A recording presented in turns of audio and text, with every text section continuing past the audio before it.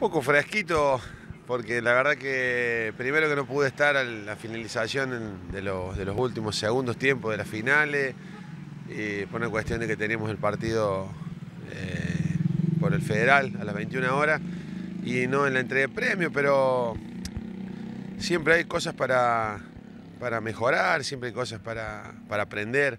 En definitiva, primero que se haya logrado hacer, segundo que hayamos tenido la, la presencia de más equipos que el año pasado. Creo yo, sin saber lo de, las entradas que se, que se han vendido y que han participado la gente, yo creo que hubo una gran convocatoria, sobre todo entre el sábado y el domingo, eh, de gente.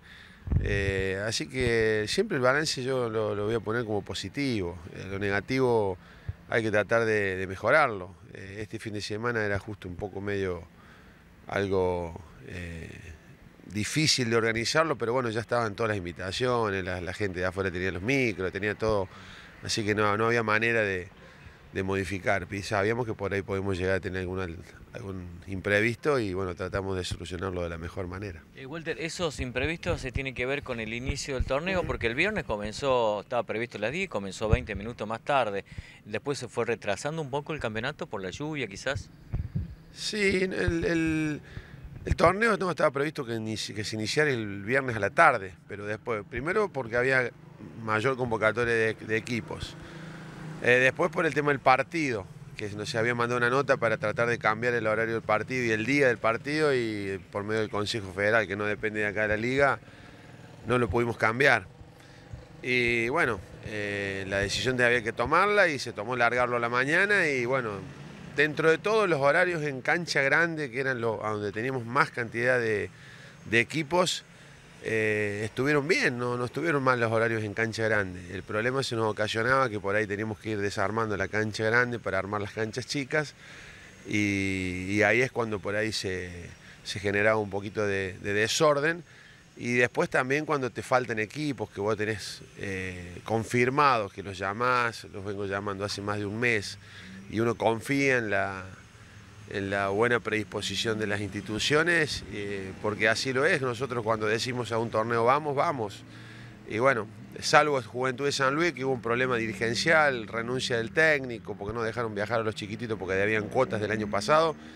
Eh, los demás equipos que fueron creo dos instituciones, uno con cuatro categorías y el otro con dos categorías que no vinieron, ahí se te arma también porque el, que está en la zona tiene dos partidos por jugar y después termina jugando uno y bueno, te genera una molestia. El Everton, por ejemplo, también que no vino, ¿no? Sí, me llamó poderosamente la atención, gente con la cual tengo muy buena, muy buena tengo buenas referencias y tengo muy buena relación, pero bueno, eh, vaya a saber que, aparte lo peor que no tuvieron, no, sea, no, no, no me avisaron, sino cuando se les mandó el fictor el jueves por la noche a última hora, ahí me enteré que no venían. Pero bueno, ya está, hay que mirar para adelante y vuelvo a repetir, en ese momento había que tratar de, disimular esa falta que de alguna manera u otra y bueno, hubo los chicos por ahí que, por eso se armó cuarto de final también, para que jugasen un partido más, por ahí el viernes jugaron un solo partido, pero el sábado ya jugaron dos, o el sábado jugaron uno y el, domingo jugaron tres, pero bueno, eh, hay veces lo que son difíciles de que entienden las cosas son los papás.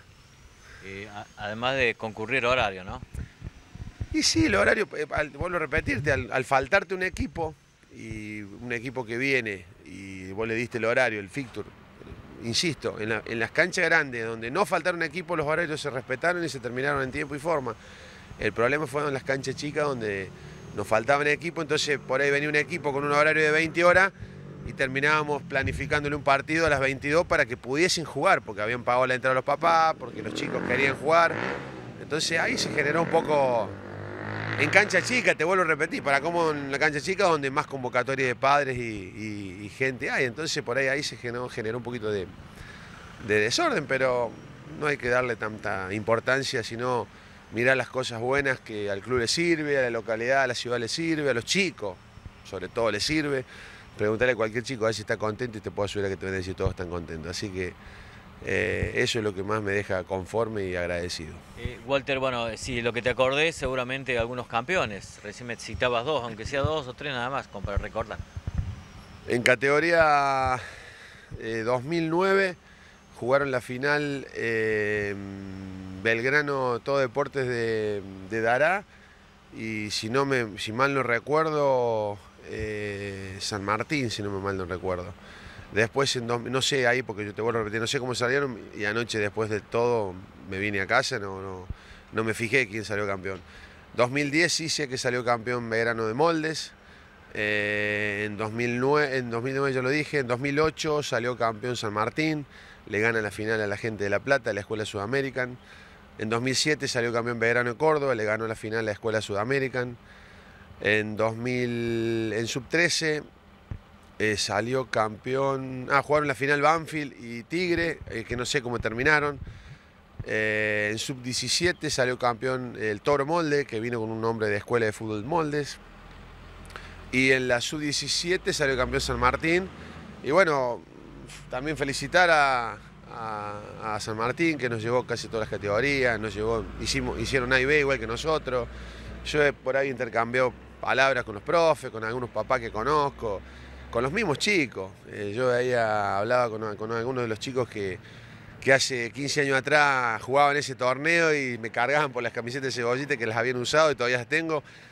Y dice, la verdad que, esto no te lo olvidas nunca más. Y eso es lo que Roger, yo rescato. Lo, negativo, la gente que critica, la gente que se cree que es fácil hacer todo, hay que dejarlo y, bueno, eh, ellos sabrán y tomarán alguna medida el día de mañana que se haga otro torneo si tienen que ir o no.